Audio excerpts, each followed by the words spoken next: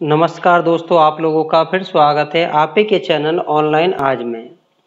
दोस्तों, आज हम लोग बात करेंगे कि आप अपना अविकस का सेंटर गवर्नमेंट की साइट पर कैसे रजिस्टर कराएँ।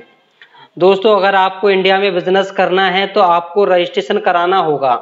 अगर आप अपना अविकस का सेंटर या कोई भी बिज़नेस अगर आप इंडिया में चला रहे हैं तो लीगली आपको उसका रजिस्ट्रेशन कराना कंपलसरी होता है।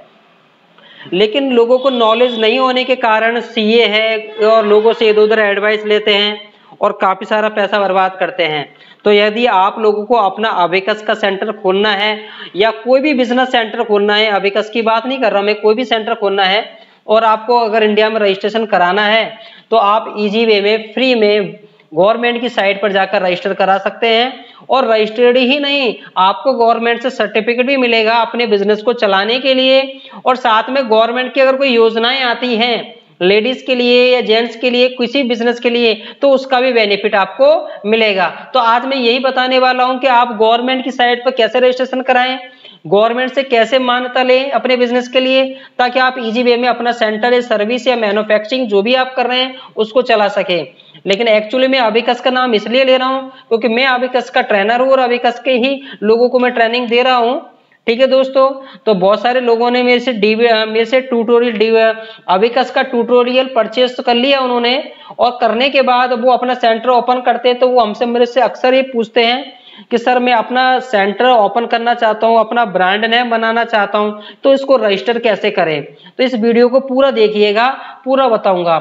और हाँ दोस्तों, अगर अब तक आप लोगों ने हमारा चैनल सब्सक्राइब नहीं किया है तो रेड बटन पे जाकर क्लिक करके सब्सक्राइब कर दें। और बटन के पास में एक घंटे का एक बेल का निशान है, उस पर भी ज़रूर क्लिक करें, ताकि जब भी मैं नया वीडियो डालू तो उसका इंफॉर्मेशन आपको मिल जाए। ठीक है दोस्तों तो हम स्टार्ट करते हैं। तो मैं बता रहा था, आप अपना अबेकस या कोई भी बिज़नेस सेंटर आप गवर्नमेंट की साइट पर ministry of micro small and medium enterprise पे कैसे रजिस्टर करें? गवर्नमेंट ऑफ़ इंडिया का एम एस ई में रजिस्टर कैसे करें? क्योंकि इसको रजिस्टर करने का बहुत फ़ायदा है।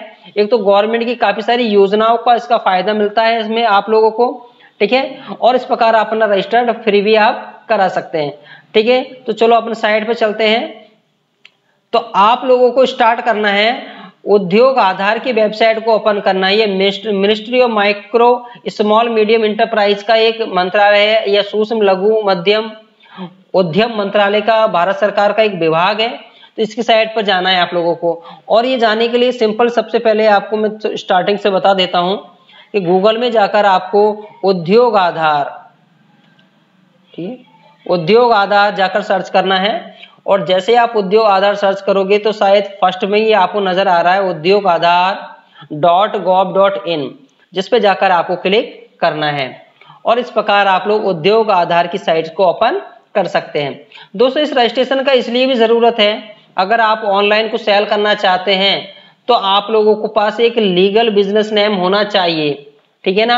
अगर आप अपना विकास या कोई भी बिज़नेस सेंटर करना चाहते हैं या ऑनलाइन बिज़नेस करना चाहते हैं तो मैं इसलिए ऑनलाइन का नाम ले रहा हूँ क्योंकि मैं अविकास और ऑनलाइन ट्रेनर दोनों है। मैं ऑनलाइन लोगों को सिखाता भी हूँ ऑनलाइन वर्क कैसे किया जाता है। इसके अलावा अविकास की ट्रेनिंग देता हूँ मैं। इसलिए दोनों का नाम ज़्यादातर मैं ले रहा हूँ। ठीक है दोस्तों तो मैं कैसे करेंगे? सबसे पहले साइट पर जाओगे आप और जाने के बाद नीचे यहाँ पर नज़र आ रहा है आपको आधार नंबर, आधार संख्या। ठीक है? और यहाँ उद्यमी का नाम नेम ऑफ़ इंटरप्रेनर तो यहाँ पर आकर आपको सबसे पहले अपना उद्योग का, उद्योग आधार का नंबर देना है। यानी आपको जो उद्योग आधार है, यानी आपका आधार कार्ड है, उस आधार कार्ड में एक नंबर होता है। उस नंबर को जाकर डालना है और आधार कार्ड के अंदर जो नेम है उस पर्सन का, उस पर्सन का नाम हम लोग इसमें डालेंगे। इस प्रकार हम लोग अपने आधार कार्ड को लेकर बैठे ताकि हम वही नाम डालें जो हमारे आधार कार्ड में है और आधार कार्ड का नंबर डालें। ठीक है दोस्तों? और इसके बाद आपको नीचे करना है क्लिक वैलिडेट एंड, ठीक है, जनरेट ओटीपी यानी आपको जैसे ही आप अपना आधार नंबर और अपना नेम डालने के बाद आप जनरेट ओटीपी पे क्लिक करोगे तो आधार कार्ड में जो नंबर आपने रजिस्टर्ड कराया था, उस पर एक ओटीपी नंबर आएगा। जो नंबर को आपको इसके अंदर इंसर्ट करना है ताकि हम आगे बढ़ सके। अगर दोस्तों, अगर अब तक आपने अपना मोबाइल नंबर अपने आधार कार्ड में रजिस्टर नहीं कराया है तो आपके नियरेस्ट किसी भी ई मित्र पे जाकर आप इस काम को रजिस्टर्ड कर सकते हैं। फिर भी कोई प्रॉब्लम है तो आप मेरे को कमेंट बॉक्स में लिख दीजिएगा। मैं इसके बारे में बता दूँगा कि आप अपने आधार कार्ड में अपना नंबर किस प्रकार जुड़वाएँ, ठीक है? तो मैं आगे आप लोगों को इससे ज़्यादा ऑनलाइन नहीं बता सकता तो मैं आगे आपको स्क्रीन शॉट दिखा देता हूँ, क्योंकि मेरे को यहाँ रजिस्टर करने के लिए, आगे की स्क्रीन लेने के लिए मेरे को एक आधार नंबर और और पर्सन का नाम डालना है, इस पर क्लिक करेंगे हम लोग। तो हम आगे देखें कि इस प्रकार आप जब क्लिक करोगे तो इस प्रकार से आप लोगों को नज़र आता है। ठीक है? थोड़ा सा मैं और इसको और इसको रन कर दिखा दिखा देता हूँ आपको मैं। ठीक है? आप देख सकते हो। कि जब आप लोग आपको ओटीपी जनरेट हो जाएगा, तब आपके नीचे एक फॉर्म स्टार्ट हो जाएगा, जिसमें लिखना है सोशल कैटेगरीज आप जनरल में हैं S C S T OBC जो भी है, उसको सेलेक्ट करेंगे। इसमें लिंग फीमेल जो भी हैं, आप फिजिकली अगर हैंडीकैप्ड हैं, ठीक है, विकलांग है तो वो इंफॉर्मेशन बनना है। और यहाँ सबसे इंपॉर्टेंट बात नेम ऑफ़ इंटरप्राइज यहाँ उद्यम का नाम। आप जो भी उद्यम का नाम रखना चाहते हैं, अपने बिज़नेस का नाम रजिस्टर करना चाहते हैं, वो आप यहाँ पर रखोगे आप, ठीक है? तो यहाँ पर आपको अपना बिज़नेस का नाम देना है, ठीक है ना? और इसके अलावा यहाँ पर आपको ऑर्गेनाइजेशन का टाइप लेना है, जो ऑर्गेनाइजेशन का टाइप आप सॉल्व प्रोपराइटरशिप ले लीजिएगा, ठीक है? और सॉल्व प्रोपराइटरशिप का मतलब होता है एकल स्वामित्व जिसका बिज़नेस का ऑनर एक ही हो। आपको कोई कंपनी नहीं लेना है, कोई पार्टनरशिप नहीं लेना है, ठीक है ना? अब जनरली आपको सॉल्व प्रॉपर्टीशिप लेना हाँ अगर आपकी कोई पार्टनरशिप फर्म है या लिमिटेड पार्टनरशिप फॉर्म है तो आप लोग इसका यूज़ कर सकते हैं। अच्छा इसके नीचे आएगा आपको पैन नंबर दोस्तों, अगर आप सॉल्व प्रोपराइटर के साथ के अलावा कोई भी हो, आपकी कोई कंपनी हो या पार्टनरशिप हो तो ही आपको पैन कार्ड नंबर डालना है।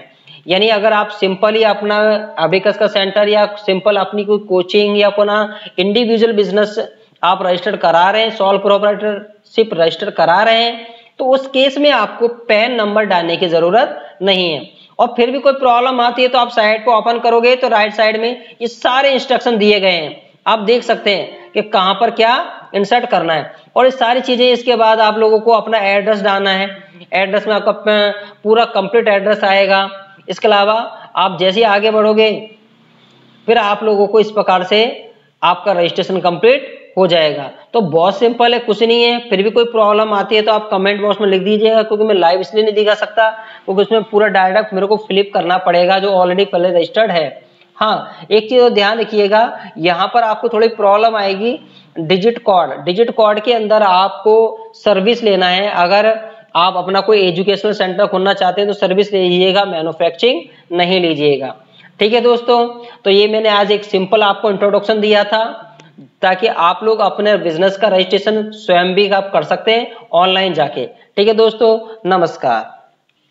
हाँ एक मिनट दोस्तों और, एक चीज़ और। मैं आपको ये बता दूँ कि आपको जो सर्टिफिकेट आएगा वो इस प्रकार से आएगा, जिसका आप प्रिंट आउट ले सकते हैं और आप जो ईमेल आईडी दोगे फॉर्म के अंदर, उस ईमेल आईडी पर आपको इस प्रकार का एक फॉर्म भी, वो आपका एक सर्टिफिकेट भी सेंड करेंगे, जिसे आप अपने लैपटॉप से या कंप्यूटर से उसको प्रिंट आउट निकाल लें। और उसका भी यूज़ कर सकते हो आप। ठीक है दोस्तों तो इस प्रकार आप आधार उद्योग में रजिस्टर्ड करके आप गवर्नमेंट की योजनाओं का भी एडवांटेज ले सकते हो। ठीक है, धन्यवाद।